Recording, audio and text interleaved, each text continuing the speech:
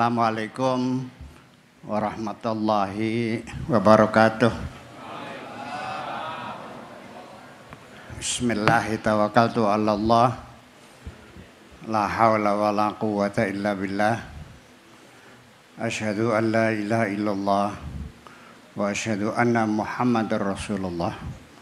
Allahumma salli ala sayyidina Muhammadin alihi wa sahabatihi ajma'in ma ba'd. Para sesepuh alim ulama al-mukarramun hadirin dan hadirat rahimakumullah. Wa khususan Pak Sekda sahibul bait kita doakan mudah-mudahan selalu dalam keadaan sehat walafiat. Amin malam ini pertama-tama saya ingin menyampaikan kebahagiaan saya. Mendapat undangan khusus bisa bersilaturahmi dengan warga yang ada di sini. Malam yang sangat bahagia ini hanya saja judulnya itu tiga ini. nih satu refleksi akhir tahun, kedua ngaji rasa, ketiganya menggapai bahagia. Jadi saya malam ini dituntut bagaimana merawat ya, menggabungkan, mengelola tiga judul besar ini, refleksi akhir tahun, ngaji rasa dan menggapai bahagia. Oke. Okay. Pertama adalah refleksi akhir tahun. Atau dalam bahasa Arabnya namanya muhasabah. Muhasabah itu artinya kalau pejabat nah laporan LPJ, laporan pertanggung jawaban. Selama di dunia ini selama menjabat lima tahun menyampaikan laporan pertanggung jawabannya kita juga nanti di hari akhirat akan dimintai laporan pertanggung jawaban. Nah, untuk apa kita refleksi akhir tahun? Artinya, mumpung kita masih hidup di dunia, yuk kita perbaiki kesalahan-kesalahan kita supaya nanti ketika dihitung oleh Allah kita sudah memperbaikinya. Sebab kalau nanti mah sudah nggak ada ampun. Ya sudah yaumul jaza. Kalau kita kan yaumul amal kita ber, ber, bekerja sekarang. Kalau nanti ada akhirnya sudah nggak ada ampun ya salah ya salah sudah selesai. Tidak ada waktu lagi untuk memperbaiki. Sekarang waktu kita untuk memperbaikinya. Nah bapak-bapak dan ibu-ibu sekalian sebetulnya muhasabah ini bukan setahun sekali ya. Kita sebagai pegawai saja di suatu lembaga negara itu melaporkan laporan itu ada laporan harian, ada laporan mingguan, ada laporan bulanan dan ada laporan tahunan. Nanti sifat laporan harian itu apa? Sifatnya adalah menyampaikan berita-berita yang bersifat faktual tanpa analisa, tanpa penilaian dan sebagainya. Pokoknya berita faktual. Seperti apa? Dalam olahraga, kesenian, budaya, perfilman, ekonomi, eh, politik dan sebagainya dan sebagainya kita laporkan harian sifatnya faktual.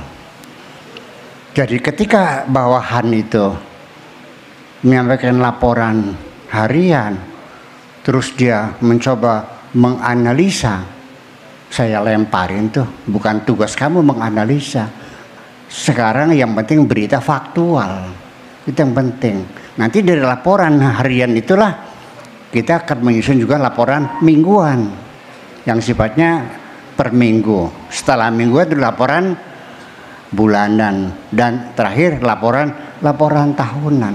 Maka kita sendiri sebetulnya bahwa untuk muhasabah itu ada harian sebelum kita tidur beberapa saat sebelum kita tidur kita mengevaluasi coba ibu-ibu bapak sekalian sebelum kita tidur coba kita kembali mengingat tadi pagi saya bangun jam berapa? Bangun jam 7 sholat subuhnya ketinggalan. Jadi sholatnya kodo usolli fardhu subhi ini kodoan lillahi ta'ala. Iya iya. Baru baru bangun udah salah kemudian sarapan pagi sayurnya terlalu asin mangkok saya lemparin dengan memarahi istri saya astagfirullahaladzim kemudian mobil menyerempet gerbang tetangga. Coba dihitung dari mulai, dari mulai bangun tidur sampai akan tidur lagi. Apa yang kau lakukan? Ambil kertas dua lembar, yang satu kebaikan, yang satu keburukan. Setiap hari. Menyantuni anak yatim tulis menyantuni anak yatim. Berapa? 2000 satu orang. Berapa orang? 10 orang. Tulis menyeberangkan nenek-nenek di jalan raya. Tulis. Tulis kebaikanmu, tulis kejahatanmu. Sok ditung, mana yang banyak? Banyak kebaikan, banyak kejahatan. Termasuk lu ngangkut cewek di tengah jalan, ngaku nggak? Iya. Kita tulis setiap hari Demikian. Nanti per minggu, per bulan, dan akhirnya per, per tahun. Itu semacam itu. Akan tetapi, perlu kita ketahui, yang semula kita itu mencatat kebaikan-kebaikan kita dengan harapan dapat pahala sekian, pahala sekian. Belum tentu seperti itu. Karena dalam perjalanan kita sehari-hari dalam bentuk beribadah kepada Tuhan ini kita sering menghadapi jebakan-jebakan, tipuan-tipuan yang kita kadang-kadang salah duga dan salah persepsi. Awas salah persepsi. Kalau persepsi salah, konsepsinya pasti salah. Konklusinya salah. Implementasinya salah.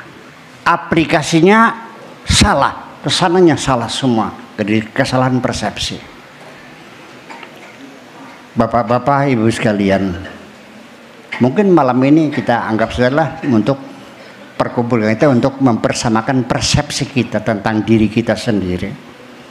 Sebab bagaimanapun, karena persepsi kita berbeda, maka reaksi kita menjadi berbeda. Sekalipun kita menghadapi aksi yang sama tapi reaksinya ber, berbeda dikarenakan persepsi kita berbeda. Maksudnya apa? Mana Pak Dokter Dadi mana Pak Dokter Dadi? Mana Pak Dokter Dadi? Nah ini Pak Dokter Dadi sahabat saya nih. Beliau dicemburui oleh istrinya. Saya dicemburui oleh istri saya. Aksinya sama kan? Dicemburui. Oleh siapa? Oleh istrinya. Tapi kenapa reaksinya berbeda? Dokter Dedi marah banting pintu, istrinya dicaci maki. Tapi saya tertawa terbahak-bahak. merasa bahagia sekali. Nah, di mana bedanya? Beda persepsi. Karena Pak Dr. Dedima ketika dicemburu istrinya, persepsi dia dia dicurigai oleh istrinya. Betul nggak? Orang dicurigai tersinggung nggak? Tersinggung. Kalau saya tidak, ketika istri saya cemburu, itu artinya bagi saya itu sebagai bukti istri saya sangat mencintai saya. Karena cemburu bagi saya adalah rasa takut kehilangan. Paham nggak? Itulah sebabnya.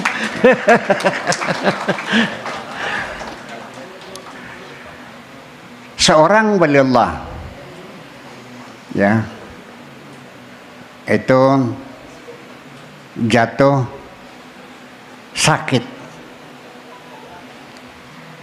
Para wali dari Mesir, dari Baghdad pada datang. Abdul Hasan Al-Marsi yang sakit itu.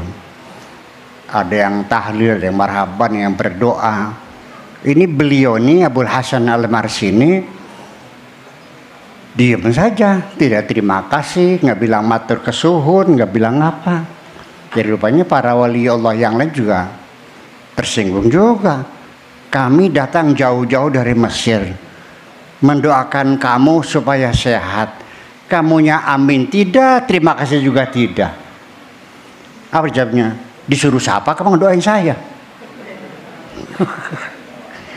Jadi kamu nggak berdoa sehat, kamu tidak ingin sehat? Enggak juga sih. Jadi kamu senang sakit? Enggak juga sih. Jadi gimana? Eh, saya tidak pernah minta sehat. Kenapa? Allah lagi senang melihat saya sakit. Jadi kalau Allah senang melihat saya sakit, maka ya saya harus senang sakit. Yang penting Allah senang. Yang penting asal engkau bahagia. Selesai kan? Itu karena beda persepsi sehingga kita menjadi masalah. Nah itulah kadang-kadang jebakan-jebakan semacam itu memang dipasang oleh oleh setan ya, oleh iblis yang juga setan iblis juga dibuat oleh Allah juga. Untuk apa Allah membuat iblis? Ya supaya dinamika kehidupan seperti ini supaya indah. Tanpa iblis dunia nggak rame kok. ya. Jadi itu by framing ya, by framing perlu ada. Kalau saya mengaku saya pahlawan, saya menang. Saya pahlawan, saya menang. Lalu tanya, siapa musuhmu? Nggak ada musuhnya. Seorang pahlawan menang, tapi nggak ada musuhnya. Benar nggak? Jadi supaya kau jadi pahlawan harus ada musuh. Nah musuhnya dibikin oleh Allah itu dengan sengaja. Nah, kita kembali dulu. Nah, jebakan-jebakan itu berawal dari dendamnya iblis diusir dari sorga gara-gara Nabi ada. Ya, iblis tidak dipikir-pikir masalahnya apa sih? Dia tidak mau bersujud kepada Adam. Terus Allah Maha Adil. Tidak langsung dipersananon geratakan dari kerajaan sorga tidak. Tapi diklarifikasi dipanggil. Eh iblis kenapa kamu nggak mau sujud? Mama naka antas sujud apa sebabnya kamu nggak mau sujud diklarifikasi kok nggak langsung diusir enggak jawaban iblis jawaban sederhana normal biasa Alasnya apa? Alasannya qala ana khairum minhu. Aku lebih baik dari Adam. Bagaimana saya harus tunduk kepada Adam? Saya tidak menyalahkan Bapak Dr. Dedi ketika suruh melayani, suruh memuliakan, berbakti kepada seorang tamatan SD dia pasti ngelawan yang udah aja bu saya kan dokter ini dapat S ngapain saya harus mengabdi sama dia Masuk akal enggak? Masuk akal. Jadi sesungguhnya ketika iblis itu menolak sujud kepada Adam karena dia meyakini aku lebih baik. Nah, lalu oleh Allah diterusin nih. Apa argumentasimu engkau lebih baik dari Adam? Qala khalaqtani min narin wa khalaqtahu min tin. Aku engkau cipta dari api dan Adam engkau cipta dari tanah. Memang betul. Ya memang betul. Nah, di sini yang jadi persoalan adalah iblis merasa lebih baik dari Adam. Allah mengatakan bahwa sebabnya iblis tidak mau bersujud adalah karena kesombongannya. Siapa pun yang merasa dirinya lebih baik dari orang lain itu adalah manifestasi dari kesombongan. Jadi iblis diusir dari sorga bukan karena dia kafir, bukan karena dia tidak percaya, bukan karena dia ingkar. Makanya di Al-Quran dikatakan aba wastakbaro wa kana minal kafirin. Iblis menolak bersujud kepada Adam dikarenakan kesombongannya. Karena kesombongannya itulah maka dia disebut kafir. Jadi kafirnya iblis itu bukan kafir tidak percaya kepada Tuhan tetapi karena sombong. Jadi siapa pun di sini yang punya sifat sombong itu kafir berarti aba wastakbaro wa kana minal kafirin.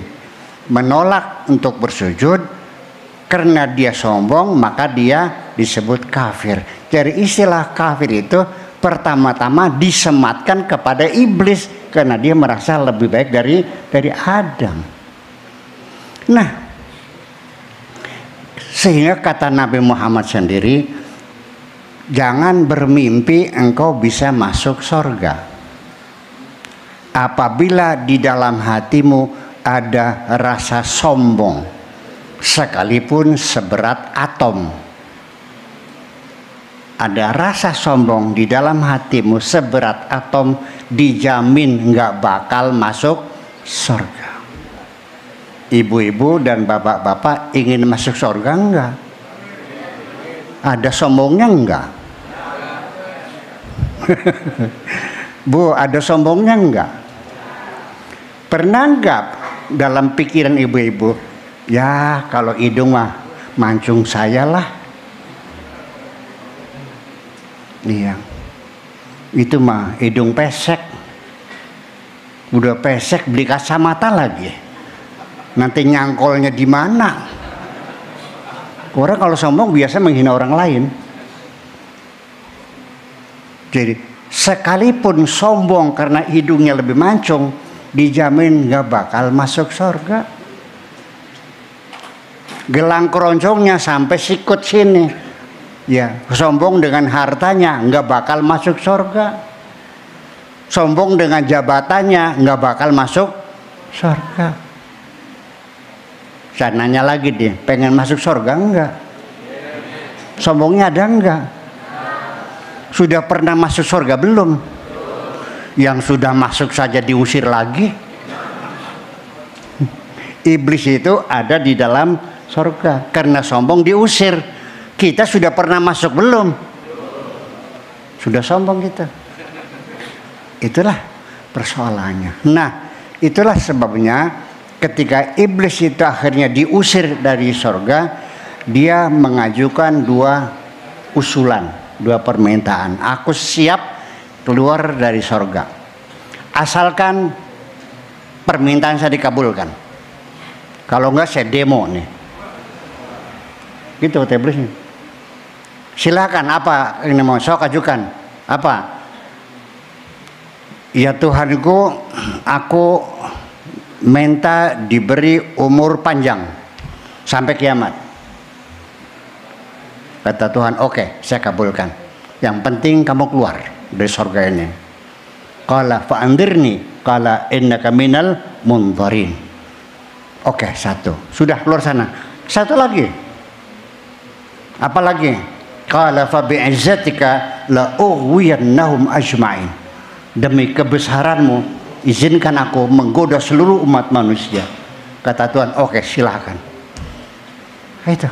Jadi artinya bahwa iblis itu menggoda kita ini legal. Punya SIM Pak Dedi. SIM itu surat izin menggoda. Jadi resmi, jangan-jangan marah ya, resmi kok diizin. Itu persoalannya. nah, itulah sebabnya ketika iblis sudah keluar sambil bertolak pinggang dan bersiul-siul karena dia yakin nanti di akhirat nanti manusia akan masuk neraka semua bersamaku dan nanti akan dapat grasi dari Tuhan. Juli kan? Ya, masa masuk surga, masuk neraka semua. Nah, begitu iblis sedang bersukaria di luar surga merasa nanti yang yang digoda akan masuk neraka semua. Kata Tuhan, "Up, tahan dulu iblis. Silakan aku izinkan engkau menggoda seluruh umat manusia. Akan tetapi siapa pun manusia yang merasa bersalah lalu mengaku bersalah dan meminta ampun kepadaku, pasti ku ampuni semuanya." Iblis melongo, Ya kalau begini kerja bakti dong.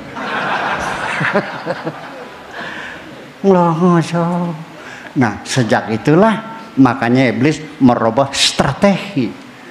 Nah makanya kita dalam merefleksi akhir tahun mesti sadar ini banyak tipu daya ya banyak jebakan-jebakan iblis. Salah satunya adalah ketika orang itu digoda oleh iblis melakukan kemaksiatan-kemaksiatan. Iblis masih belum senang, belum gembira. Sebab kapan-kapan dia sadar lalu ber, bertobat. Ya ayuhan nas tubu ilallah fa inni atubu fa inni fa inni atubu ilallah fil yaumi mi'ata marrah kata Nabi Muhammad bertobatlah kepada Tuhan aku ini sehari seratus kali bertobatnya. Ya. Jadi Allah sendiri juga menganjurkan min rahmatillah innallaha yaghfiru dzunuba jami'a. Mintalah ampunan kepada Allah, Allah siap mengampuni semua dosa-dosa.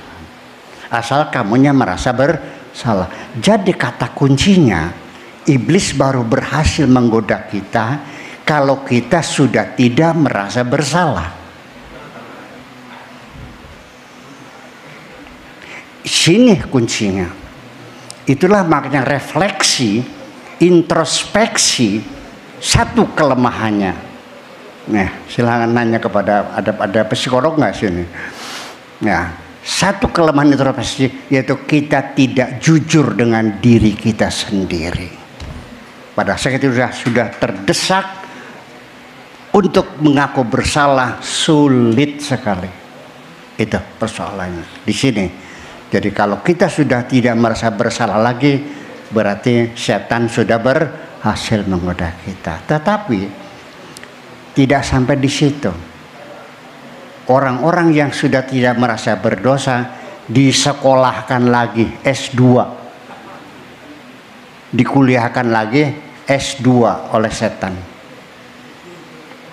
Bukan tidak merasa berdosa. Sampai selesai S2 dengan dedikasi yang tinggi kepada setan, kepada iblis, bukan tidak merasa berdosa, tapi sudah bangga dengan dosa-dosa. Di hadapan kita, kita melihat sendiri banyak orang yang bangga dengan dosa-dosanya. Nah, kenapa? Tadi malam merampok. Diceritakan kepada temannya dengan tertawa terbahak-bahak seperti satu prestasi bahwa tadi malam aku merampok dapat motor dua, mobil satu, kulkas tiga, sama memperkosa anak perempuannya dengan bangganya diceritakan. Di depan kita sudah banyak di dunia ini banyak orang yang bangga dengan dosa-dosanya. Sudah S2 sempurna? Enggak. Dikuliahkan lagi. S3. Itu apa? Persekongkolan. Ya, begitu selesai ada sertijab.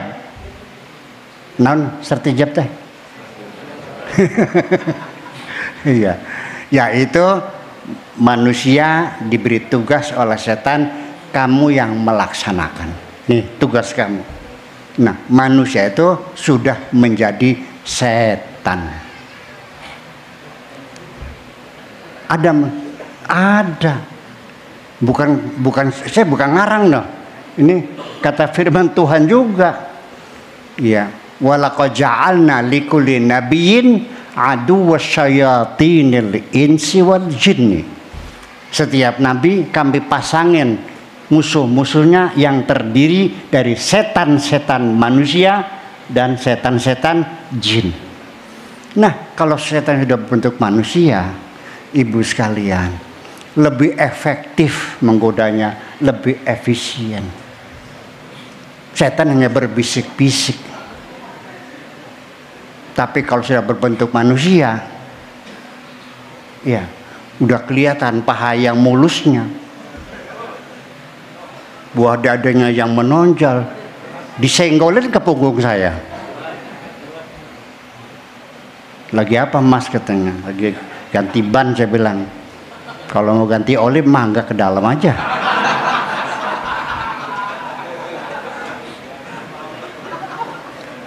Kalau setan nggak punya tete, yang punya tete itu perempuan. Lembut lagi, empuk lagi. Lebih efektif. Setan menggoda kita main judi, ya sekedar bisik-bisik. Tapi kalau berbentuk manusia ngajak judi, nggak punya uang, nggak khawatir nih duit banyak deh, gue utangin. Setan nggak mungkin ngutangin kita. Betul nggak? Diajak ngelacur. Nggak ada duit udah gue bayarin deh. Mana ada setan bayarin kita? Di situ kita terjebak. Itulah makanya dalam refleksi ini kita waspadai bahwa sering kali nanti kita ini menduga ini kebaikan-kebaikan. Tapi ternyata dicatat oleh Allah sebagai kejahatan-kejahatan.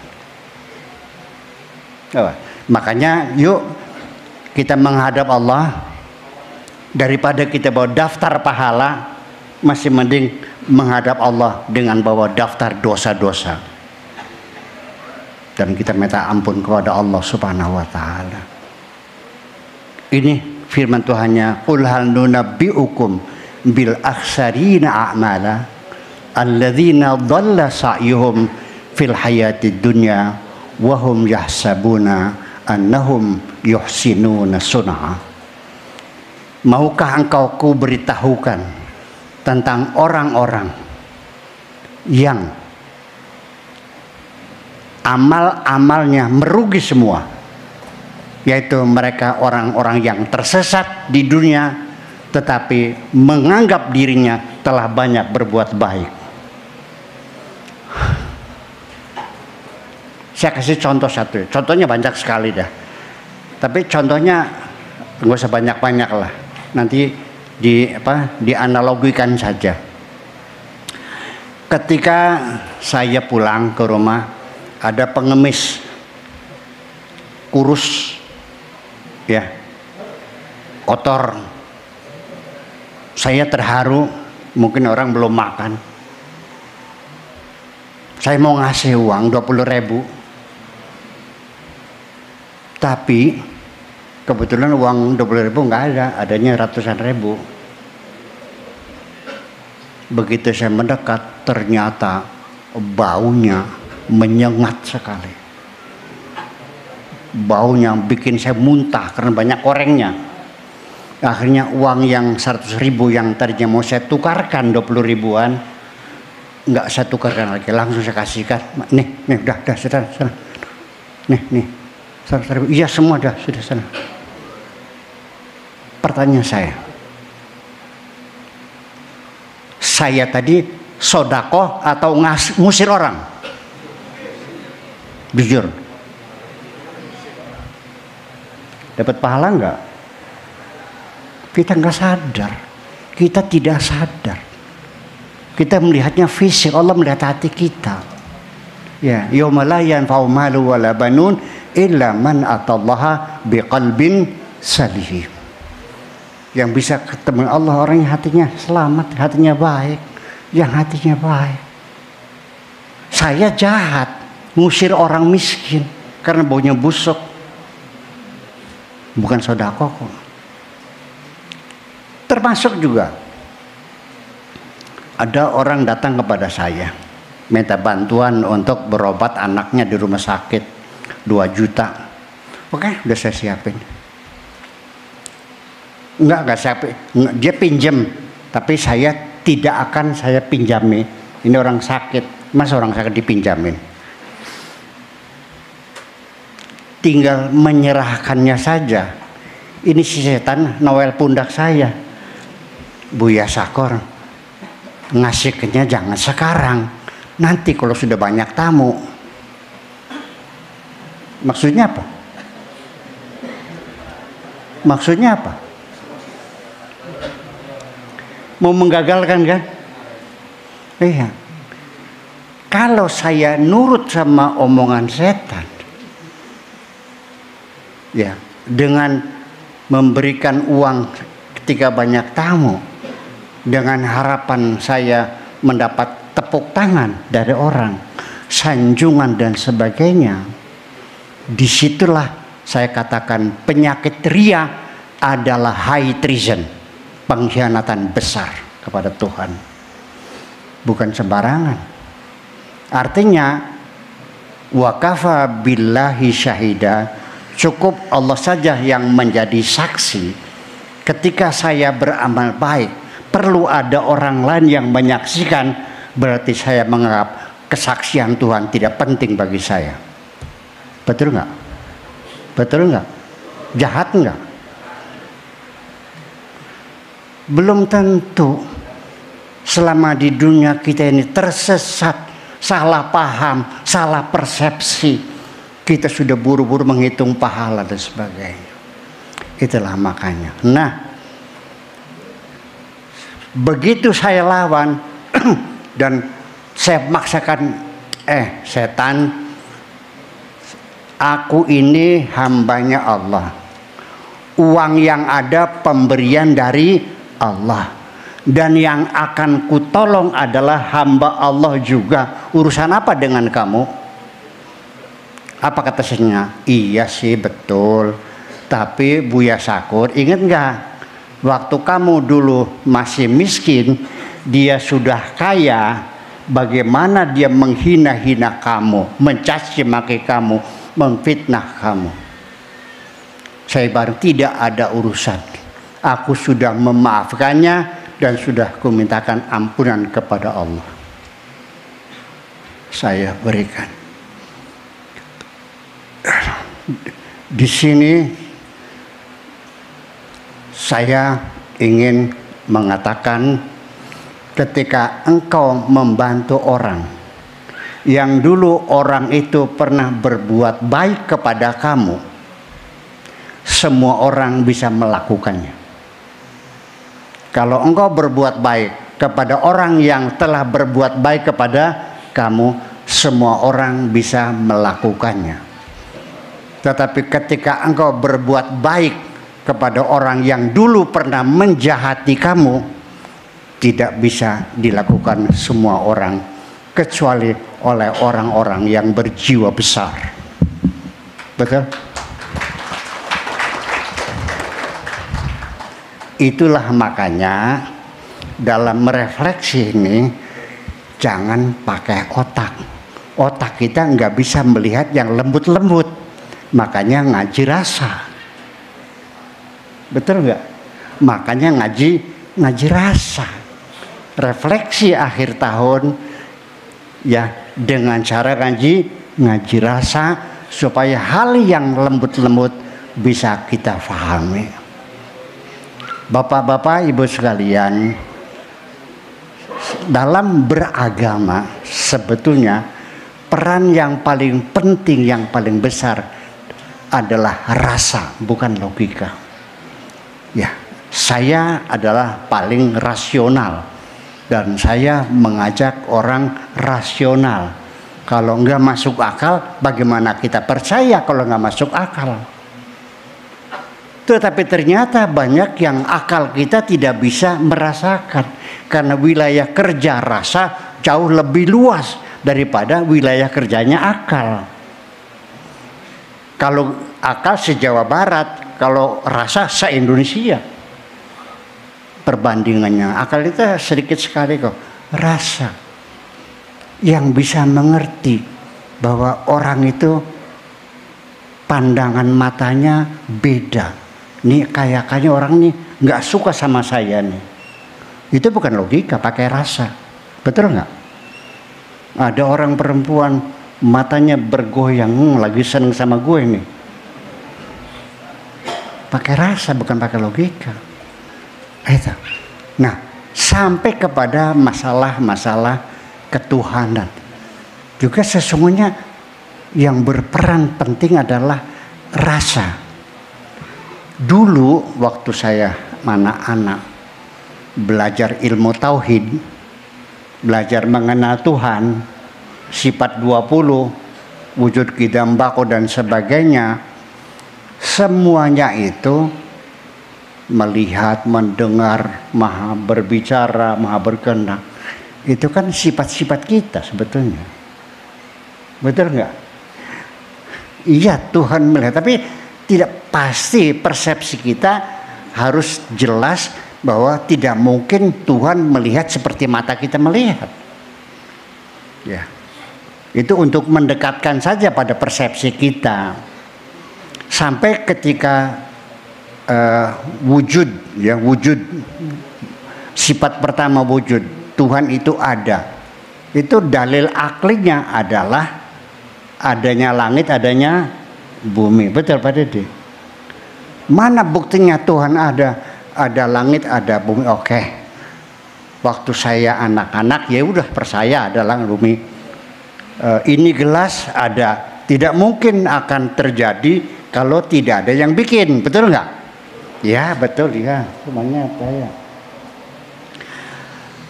Tidak mungkin langit bumi ada kalau tidak ada yang bikin. Ya, tetapi dalil-dalil akli semacam itu itu juga akan menemui masalah ke depan. Ya. Membuktikan adanya Tuhan dengan adanya langit dan bumi ini akan menghadapi masalah sesungguhnya. Oke, sekarang saya mau nanya kepada bapak-bapak. Apa betul Bapak yakin Allah itu ada karena adanya langit, adanya bumi. Ya, saya dulu begitu. Nah, sekarang malam ini saya nanya.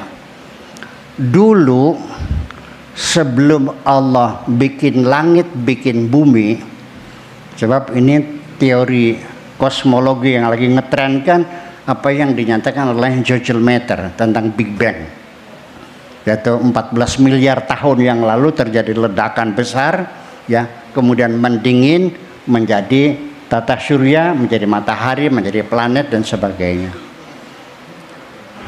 Nah sebelum Allah bikin langit dan bikin bumi lalu engkau ditanya oleh malaikat kamu yakin Allah ada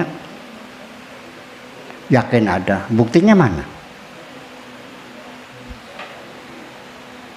kita akan terpaksa mengatakan Tuhan tidak ada karena buktinya nggak ada karena Allah belum belum bikin langit belum bikin bumi jadi buktinya Allah ada dengan langit bumi tidak berlaku sebelum ada langit dan bumi. Betul nggak? Nah, kenapa? Karena bagaimanapun langit bumi ini minal mumkinat. Sesuatu yang mungkin bisa terjadi, bisa tidak, bisa dibikin, bisa bisa tidak. Seperti saya, Allah bisa bikin, bisa tidak. Karena Allah bikin ya saya ada, kalau nggak bikin ya nggak ada. Jadi mana mungkin mungkinat menjadikan dalil kepada sesuatu yang wajibul wujud. Allah itu wajibul wujud, wujudnya wajib. Bagaimana dibuktikan dengan mungkinat? Itulah itu. Kemudian nanti setelah kiamat, langit bumi di, digulung semuanya, kosong. Allah berfirman dalam kitab sucinya, limanil mulkul yom lillahil wahidil qahar. Alam semesta milik siapa? Milik Allah yang maha perkasa. Sudah tidak ada langit, tidak ada bumi. Saya nanya lagi, masih yakin nggak Allah ada? Masih yakin? Buktinya mana? Langit sudah nggak ada, bumi sudah ada. Berarti Allah juga nggak ada lagi begitu. Itu yang jadi persoalan. Tetapi dengan ngaji rasa itu artinya saya meyakini Tuhan ada. Dalilnya karena aku yang merasakan. Aku merasakan sendiri Allah itu ada.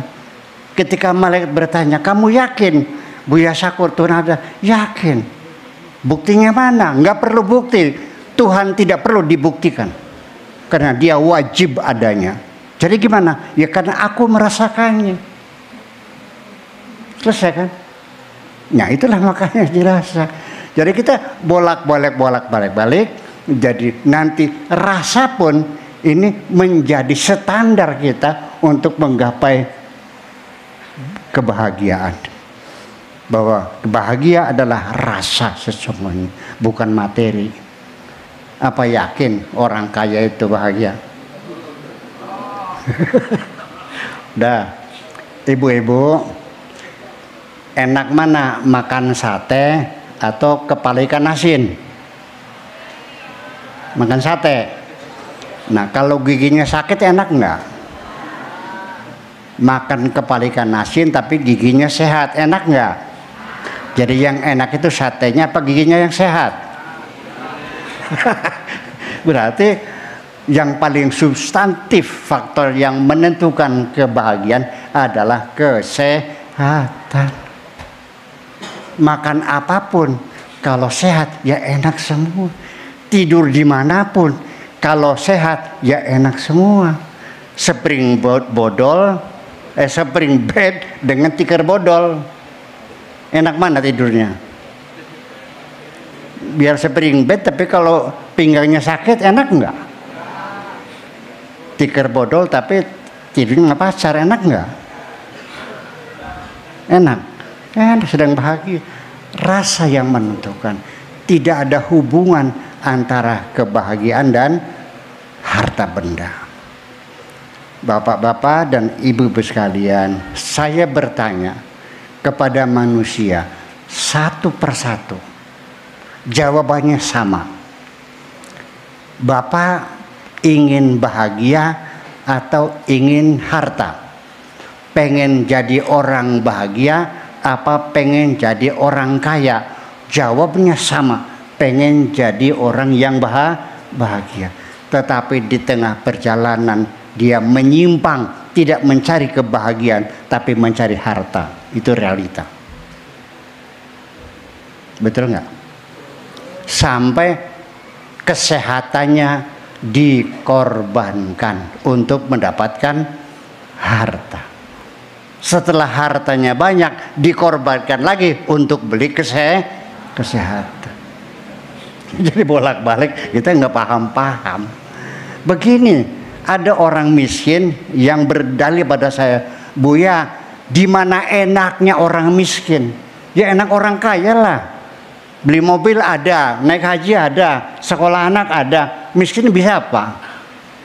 Memang itu Saya tidak bantah materi ada. Tetapi ada bahaya yang paling mendasar yang merusak kebahagiaan kita yaitu hubud dunia. Cinta dunia. Cinta dunia itu bukan senang harta, bukan. Saya juga senang duit, saya senang HP, saya senang mobil, saya senang juga. Tadi hubud dunia itu istilah sekarang namanya materialisme jadi artinya paham materialisme itu itu bisa merusak tatanan kehidupan dunia, nilai-nilai moral jungkir balik. Kita menghormati seseorang karena materialisme bukan karena moralitasnya, tapi karena hartanya. Betul? Kita mencari suami yang penting asal Bu, ada orang laki-laki yang soleh tapi miskin. Yang satu lagi kaya tapi gak soleh. Pilih mana bu? Lah ya iya dong.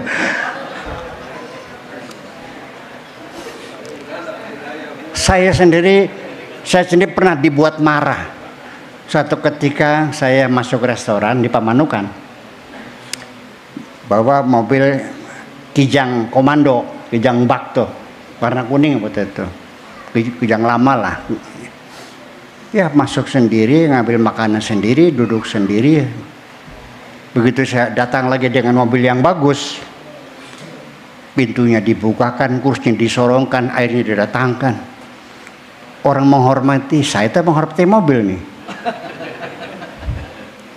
Saya seneng nggak? Orang itu bukan menghormati saya menghormati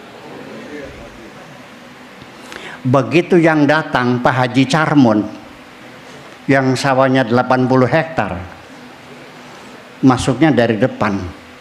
Pintunya dibuka minumannya ditawarkan minum apa Pak Haji Carmon teh tubruk kopi susu coklat biskuitnya yang enak-enak keluar semua. Karena dia yang datang orang kaya namanya Haji Carmon begitu yang datang Bitarmi Ayah, Bitar Media. Masuknya dari belakang, di pintu dapur. Duduknya juga di jengkok. Minumannya apa? Air dari gentong. Kuenya apa? Godokan bolet. Memperlakukan manusia berdasarkan materi. Di penghujungnya, refleksi kita tahun ini, jangan terjebak. Kita kembali dengan tujuan awal, mencari kebahagiaan. Terima kasih. Wassalamualaikum warahmatullahi wabarakatuh.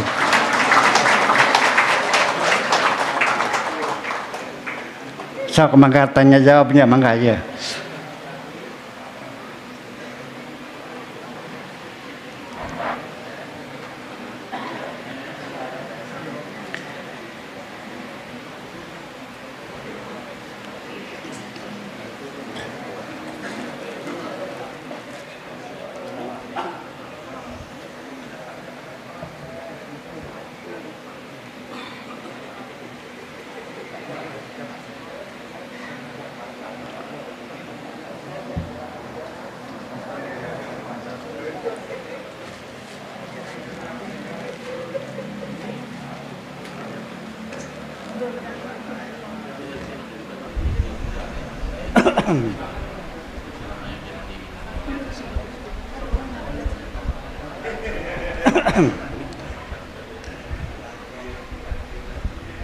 Nanti yang bertanya dapat hadiah apa kumpulan-kumpulan sajak ya. Cik. Baik, hadirin rahimakumullah. Untuk selanjutnya sesi dialog dan tanya jawab yang akan dipandu oleh moderator Bapak Dr. Abdul Muhyi. Padanya dipersilahkan.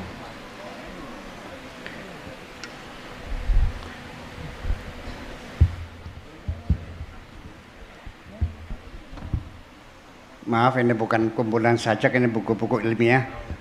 Psikota sawuf filosofi doa dan melihat Allah. Iya. Satu dua tiga empat lima enam tujuh. Apa itu? Oh iya, iya. iya. Assalamualaikum warahmatullahi wabarakatuh. Silakan kepada Bapak atau Ibu para hadirin yang akan bertanya kepada Buya terkait berbagai hal. Dibatasi ya Buya atau? Boleh mangga. tiga dulu ya. Tiga dulu penanya boleh. Yang pertama oke Bapak yang satu ini. Kemudian perwakilan dari kaum Ibu-ibu. perempuan nah, ibu Ibu-ibu. tuh yang berbaju hijau ya. Oke siap satu lagi. Oke satu lagi dari sini silakan Bapak yang mengenakan baju hijau untuk berdiri menyampaikan pertanyaan tapi namun sebutkan nama dan alamat silakan Assalamualaikum warahmatullahi wabarakatuh. Waalaikumsalam warahmatullahi wabarakatuh Buya yang terhormat, eh, nama saya Ahmad Abdul Salam. Kebetulan saya sebagai Ketua Majelis Wakil Cabang Atul Ulama Kecamatan Cikampek. Pertanyaan saya Buya, tadi di awal menjelaskan tentang ikhlas ya. Ya, ikhlas. Ria dan hubungannya dengan ikhlas. Ada seorang ulama yang berpendapat bahwa khauf dan roja itu harus sejalan ya kalau nggak salah itu Ibnu Athaillah ya. terus di mana sih titik keikhlasan itu ketika masih ada khauf dan roja itu aja Ustaz terima kasih masih ada rasa takut dan harapan kepada Allah di mana titik ikhlasnya terima kasih Bu ya Oke, terima kasih Pak Ustadz Ahmad ya. Kemudian yang kedua, Ibu di belakang boleh berdiri Bu ya. Kemudian sebutkan nama dan alamatnya dengan jelas. Assalamualaikum warahmatullahi wabarakatuh. Waalaikumsalam warahmatullahi wabarakatuh. Buya, nama saya Siti Rahbaniati. Alhamdulillah hari ini banyak ilmu yang luar biasa yang mudah-mudahan menjadi jembatan manfaat dunia akhirat. Berbicara masalah rasa Bunda, eh Buya, dalam fenomena yang asli di tengah masyarakat, biasanya kehidupan itu laki-laki sering berpikir dengan logikanya, sementara perempuan banyak berpikir dengan rasanya. Tapi di dalam kenyataan, ketika kita ingin dewasa, laki-laki belajar punya rasa, perempuan belajar punya logika. Kemudian yang keduanya, kehebatan yang Bunda ajarkan kepada yang, Bu- yang Buya ajar kepada kami ada korelasinya dengan kehidupan yang harus kita upayakan. Bagaimana kita semua bisa membalas kejelekan orang dengan kebaikan. Karena kalau membalas kejelekan dengan kejelekan atau kebaikan dengan kebaikan itu biasa. Tapi manakala kita membalas kejelekan dengan kebaikan itu sangat luar biasa. Dan terakhir Bunda, eh Buya, kami minta doa, minta doa Buya, agar negara Republik Indonesia ini diberikan kenyamanan, keamanan dan kesenangan. Terima kasih. Wassalamualaikum warahmatullahi wabarakatuh. Waalaikumsalam Waalaikumsalam. warahmatullahi wabarakatuh. Kemudian satu penanya tadi yang Bapak. Oke. Silakan Pak untuk berdiri dan sebutkan nama dan alamatnya. Eh, terima kasih. Assalamualaikum warahmatullahi wabarakatuh. Waalaikumsalam. Nama saya Nana dari Kelari. Kebetulan eh, ketua DKM di salah satu desa. Saya bertanyain Pak Buya karena tadi menerangkan masalah godaan dari dua sisi, dua sisi ya. Yang pertama yang tidak kelihatan. Yang kedua yang menjerit istilah dari insan atau manusia mungkin.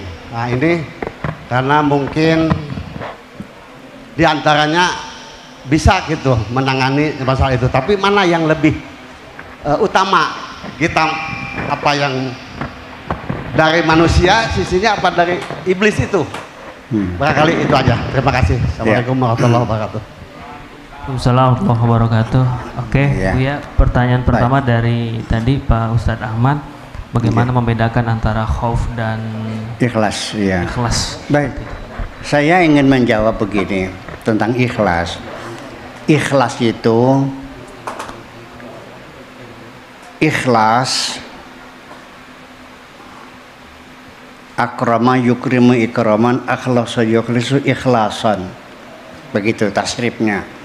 Jadi kata-kata kholas al-khulus al-khalas talkhis tak taklis. Nah ikhlas ini dari bahasa Arab. Ketika masuk ke dalam bahasa Indonesia harus kita waspadai.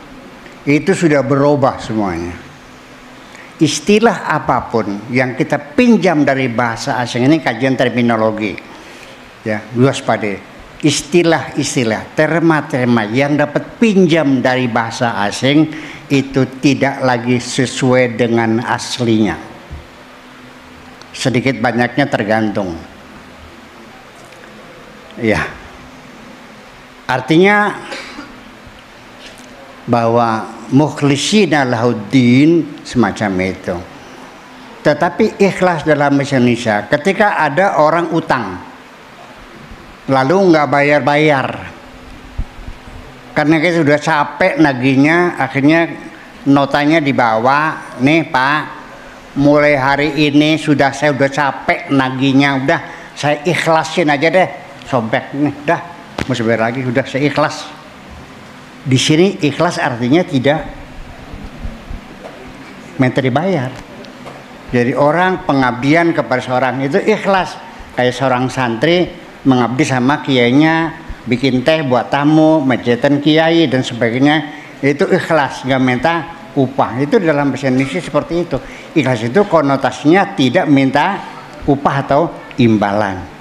Tetapi dalam bahasa Arab sekalipun dia masih berharap imbalan ketika imbalannya dari Tuhan itu disebut ikhlas juga. Seperti di dalam Al-Quran ini banyak sekali ucapan para nabi, para rasul di dalam Al-Quran mereka mengatakan inni lakum rasulun amin. Fattaqullaha wattabi'un wa ma as'alukum alaihi min ajrin in ajriya illa ala rabbil alamin. Aku ini adalah utusan Tuhan yang dipercaya. Bertakwalah kepada Allah dan ikuti saya. Aku sayang kamu aku cinta kamu. Wa ma as'alukum alaihi min ajrin. Aku tidak minta upah dari kamu.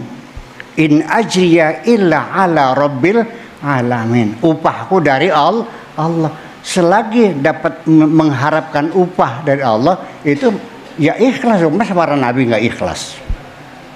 Nah itu jadi bukan sama sekali tidak ikhlas. Saya ingin menerangkan satu begini. Apa pun yang kita kerjakan, satu persyaratan ikhlas. Satu bahwa kita yakin bahwa yang menyuruh kita berbuat adalah Allah. Itu. Yang kedua, boleh mengharapkan pahala imbalan dari Allah. Tetapi untuk para kekasih-kekasih Tuhan, para aulia itu para aulia itu sudah tidak lagi berharap apa pun. Apa pun kebaikan yang mereka lakukan dan untuk Allah mereka tidak berharap pahala, bayaran, ujur, ujrah, sawab, sorga nggak ada. Ya, mereka lakukan itu semuanya dengan satu alasan, just because I love you karena aku mencintaimu. Itu sudah makam cinta. Udah nggak ada urusan itu.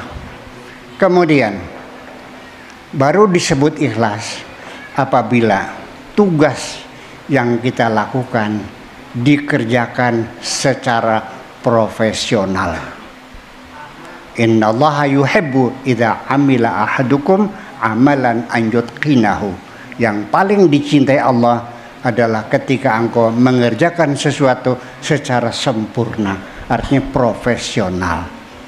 Jadi kalau kamu asal kerja, ya, tapi tidak punya nilai keindahannya, estetikanya, kesempurnaannya, tidak profesional, maka jangan berharap Anda disebut mukhlis. Kita sebaik tiap hari, tapi belum tentu itu ikhlas. Kenapa? Sholatnya sambil main-main, sambil garuk-garuk, sambil ini. Apalagi ibu-ibu nih, punten ibu-ibu, saya kritik dikit ya, jangan marah bu ya. Mau sholat, ngisi air dulu di teko, taruh di atas kompor, kompor dinyalain, ambil air wudhu, sholat duhur. Dengan anggapan selesai sholat airnya Betul gitu. Pernah nggak begitu bu? Sering. Apa yang terjadi? Di dalam sholat pikiran dia nginget-nginget teko. Profesional nggak tuh? Sholatnya sholat asar Allahu Akbar. Tiba-tiba mikir, dua rakaat apa tiga rakaat sini? main-main kok tidak profesional. Iya. Zakat juga sama. Padi yang di, yang di gudang yang bagus simpan. Pas buat zakat, dadak nyapu di halaman yang berserakan campur dengan batu. Ikhlas begitu? Enggak dong.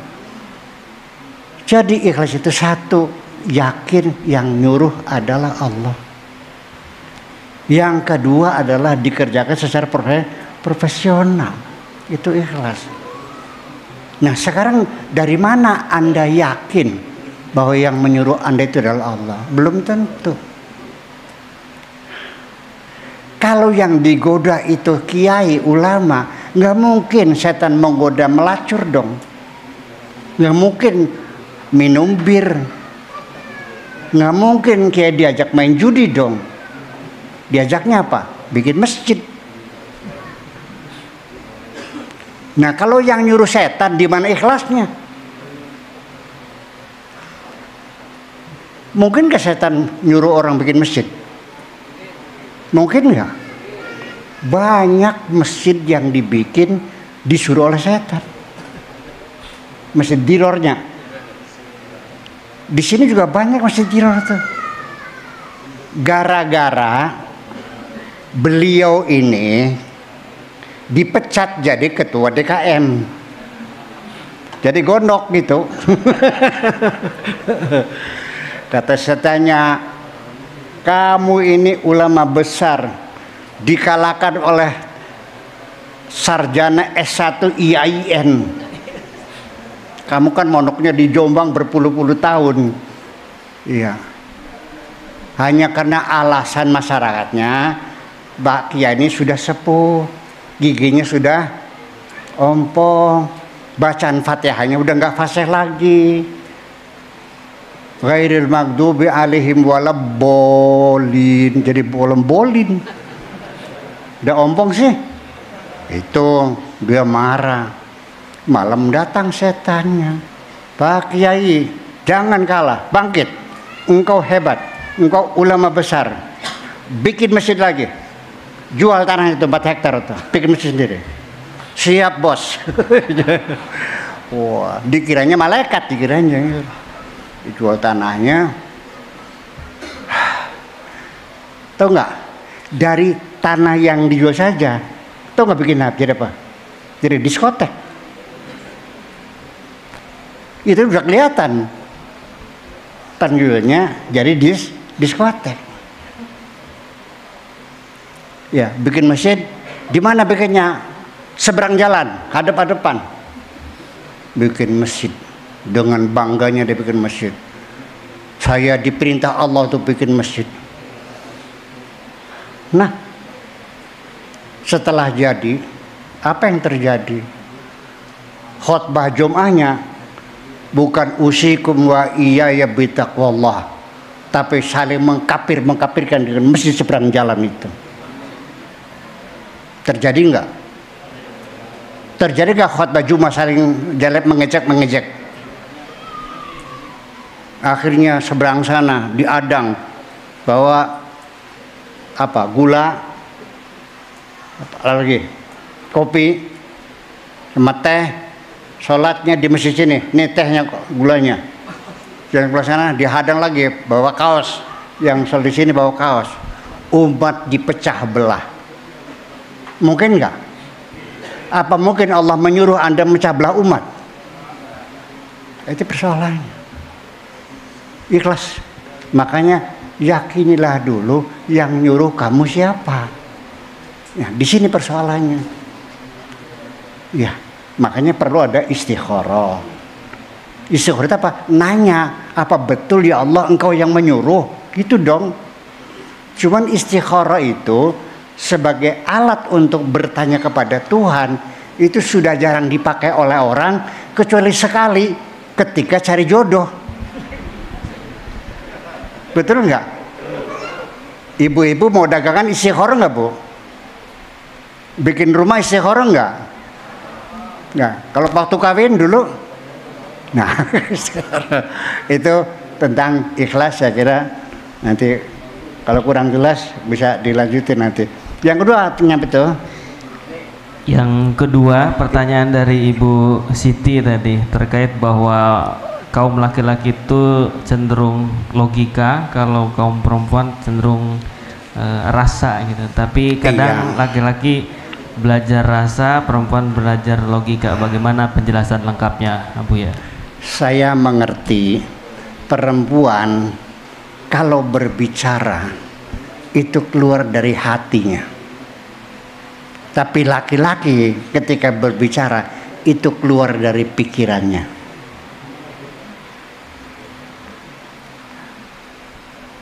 Perempuan ketika berpendapat dia menyampaikan isi hatinya. Tapi orang laki-laki ketika berpendapat menunjukkan ilmunya. Oleh karena saya paham ketika berbicara dengan perempuan, saya adalah pendengar yang paling budiman ketika saya berbicara dengan perempuan. Saya tetapi matanya dan saya lihat mimiknya dan getar bibirnya pun saya perhatikan dan perempuan merasa nyaman ketika berbicara dengan saya.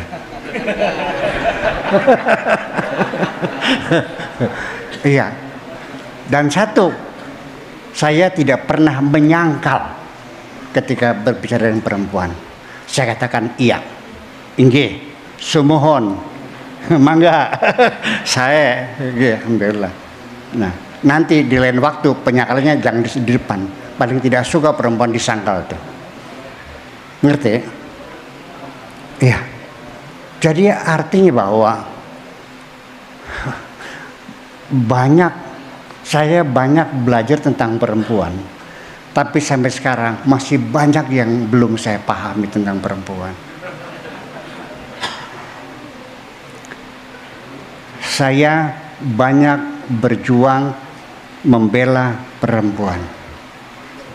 Tetapi sampai sekarang belum ada perempuan yang berterima kasih kepada saya. Satu yang saya bela, perempuan ketika mau kawin dengan lelaki yang dicintainya, tapi walinya tidak setuju. Bisa kawin nggak? Nggak bisa.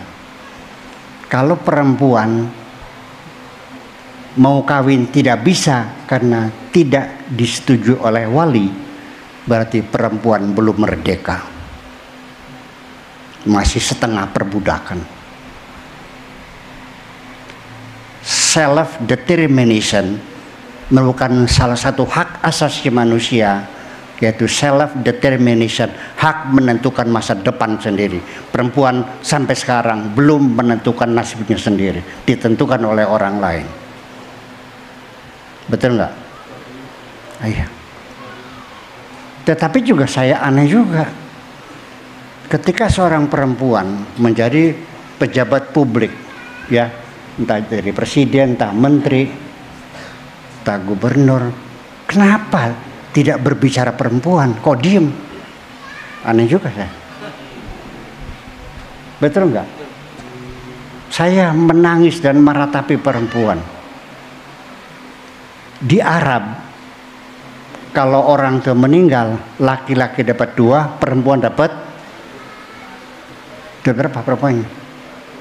Laki-laki dapat dua, perempuan dapat lidzakari mitlu hadil untayan. Di sana karena perempuan di sana nganggur di rumah, tidak boleh keluar, tidak boleh dagang di pasar, nggak boleh naik mobil.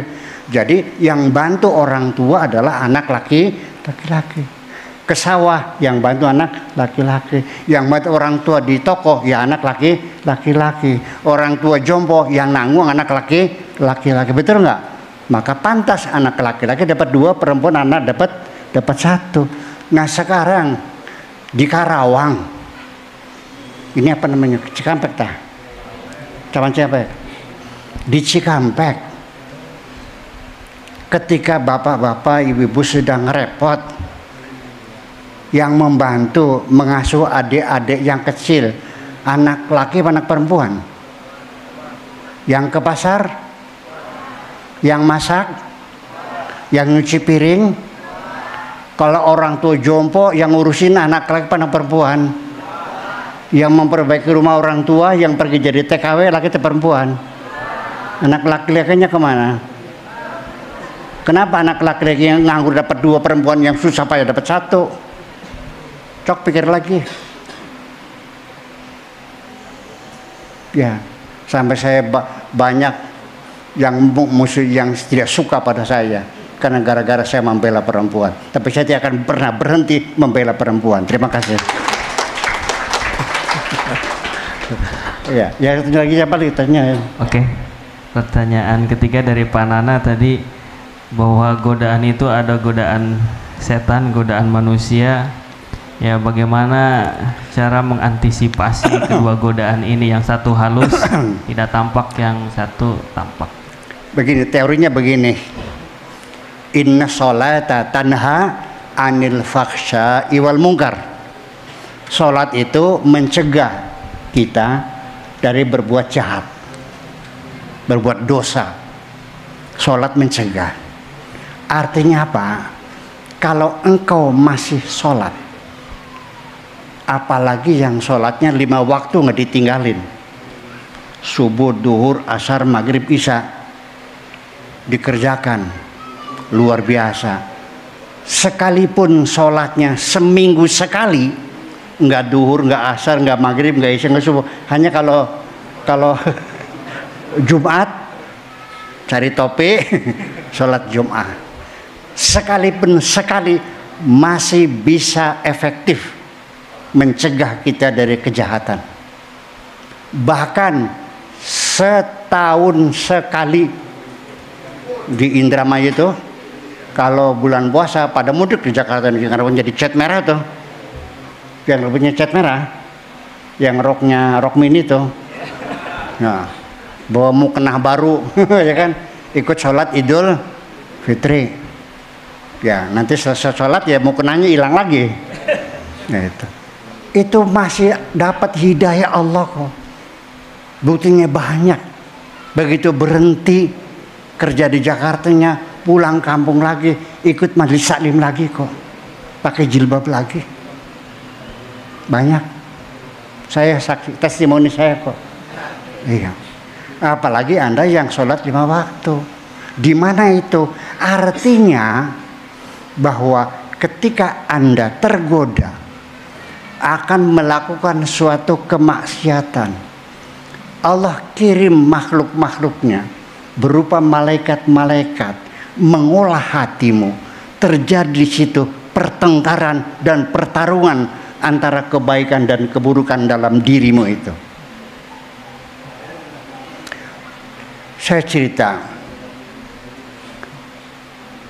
dari Indramayu mau ke Jakarta mau ceramah di kantor pemerintahan lah memang disiapin hotelnya ya tapi saya pikir nggak usah lah masih mending berangkat pagi, ma malam dari Indramayu jam 12 sampai Jakarta pagi, selesai ceramah balik lagi selesai. Mana uang hotelnya buat saya?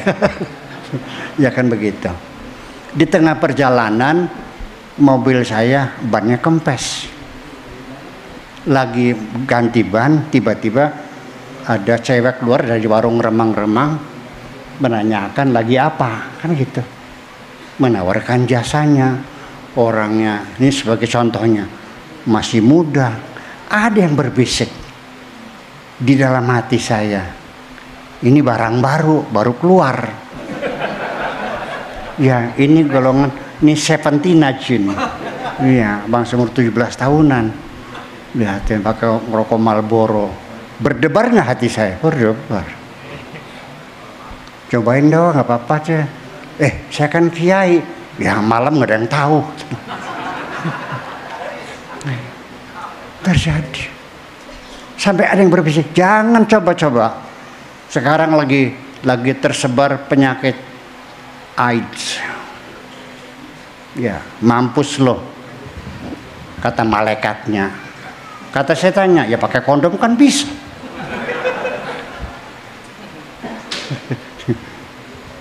ya, kata malaikatnya, eh, kondom zaman sekarang banyak yang bocor terjadilah pertengkaran antara yang menarik berbuat baik, berbuat jahat dengan yang menghalang-halang kejahatan saja. Sama kuatnya. Nah, itulah. Nah, ketika Anda dalam keadaan goyang, meh kalah, sudah mulai bergetar, kalau Anda sudah khawatir kalah, jangan malu, jangan segan menjeritlah, panggillah Tuhanmu. Wahai Tuhanku, tolonglah hambamu. Itu saja, terima kasih.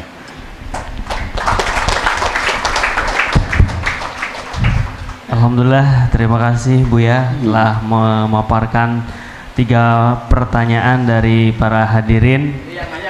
Yang nanya silahkan untuk maju ke depan dulu ya, boleh? Yang tadi, yang tadi, yang, yang tadi, tadi yang tiga itu ya. Ibu, Bapak, ya ada Pak Ahmad, Bu Siti dan Pak Nana. Silahkan oleh Pak Sekda langsung, Pak Haji. Alhamdulillah. Satu lagi, oke. Okay. Baik para hadirin sekalian, tibalah saatnya closing statement ataupun penutup dari pengajian Buya pada malam hari ini. Dan setelah nanti ditutup oleh Abuya hmm. kami serahkan kembali ke MC saya pamit undur diri. Saya akhiri dengan Allahumma fikil Assalamualaikum warahmatullahi wabarakatuh ya. Ya. Maka silakan. Baik. Menjak acara yang terakhir, doa dan penutup doa yang akan dipimpin oleh Buya langsung kepadanya dipersilakan. Iya, baik. Sebelum saya tutup doa, tadi ada closing statement, artinya kesimpulan terakhir bahwa sesungguhnya uh, kita tetap mesti waspada, tapi juga nggak perlu benci. Ketika Tuhan mengatakan inna syaitana lakum aduwwum mubin bahwa setan itu adalah musuh yang jelas-jelas buat kamu itu artinya Tuhan tidak menyuruh kita berkelahi dengan setan disuruh kita supaya bergantung kepada Allah minta berlindung kepada Allah. Itu tujuannya. Sama ibu-ibu anaknya malam belum pulang-pulang. Diajak pulang nggak mau. Kata ibunya itu di sudut situ ada wae gombel. Nah kalau anaknya nggak cerdas mana wae gombelnya? Ngajak berkelahi ya salah. Kalaupun berkelahi nggak bakal menang. Setannya melihat kamu kamunya tidak melihat setan ketika setan nampar balasnya gimana nggak menang jadi artinya bahwa yang penting kita berlindung kepada Allah dalam keadaan waspada. Nah, kesimpulan saya dari semua yang ceritakan itu akhirnya ke depan kita mesti meningkatkan kewaspadaan.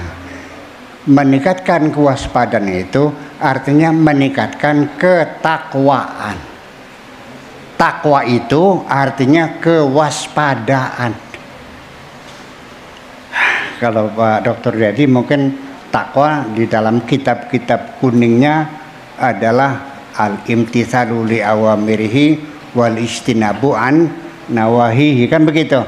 Takwa itu melaksanakan segala perintah Allah dan menjauhi segala larangan Allah. Pertanyaan saya, di sini ada nggak yang mampu melaksanakan segala perintah Allah dan menjauhi segala larangan Allah ada nggak?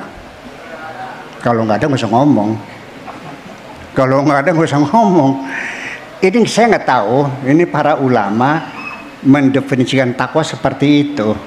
Tapi di Al-Quran sendiri dijelaskan Zalikal kitabu la roiba fihi hudal lil muttaqin. Siapa mengatakan alladzina yu'minuna billahi wal yawmil akhiri wa yuqimu salata wa yutuna zakat wa, terus wa mimma wa yunfiquna wa bima anzala apa ya ya wa bil akhiratihum ya walladzina yu'minuna bima unzila ilaika wa ma unzila min qablik artinya punya toleransi beragama dengan agama yang lain Terus terakhir jangka panjang wabil akhiratihum yukinun. Itu ketakwaan. Jadi orangnya berkomunikasi dengan Tuhan intensif sehari lima kali. Terus wa mimma razaqnam yunfiqun. Orangnya dermawan. Ya kan begitu. Ya iya, toleransi beragama, mawas itu takwa kan begitu luasnya kok jadi begitu sih nggak tahu saya nggak jadi masih penjelasan ulama tentang takwa dengan penjelasan Allah tentang takwa mana yang lebih hebat? Allah sendiri yang hebat itu. Jadi artinya yang penting kewaspadaan. Nah, nanti di sini ada ada the turning point, ada titik baliknya. Ketika engkau melakukan kesalahan tetapi engkau sudah berhati-hati dan waspada la junah alaihim fima akhtautum la junah alaikum fima akhtatum walakin ma ta'ammadat qulubukum tidak ada dosa atas segala kesalahan-kesalahanmu karena ketidakmampuanmu karena tidak mengertianmu. Kamu sudah berhati-hati sudah tapi tetap salah juga. Tidak kami catat sebagai dosa. Yang kami catat walakima ta'ammadat qulubukum adalah kesengajaan hatimu melawan Tuhanmu. Itu yang menjadi dosa buat kamu. Terima kasih itu saja. Mangga kita berdoa bersama-sama Bismillahirrahmanirrahim. Rabbana awsana an nashkura ni'mataka allati an'amta alaina wa ala walidayna wa an na'mala salihan tardah. Wa adkhilna birahmatika fi ibadika salihin. Rabbana atina fid dunya hasanah wa fil akhirati hasanah wa qina adzabannar wa sallallahu ala sayyidina Muhammadin wa ala alihi wa sahabatihi ajma'in. Subhana rabbika rabbil izzati amma yasifun wa salamun alal mursalin. Walhamdulillahi rabbil alamin. Assalamualaikum warahmatullahi wabarakatuh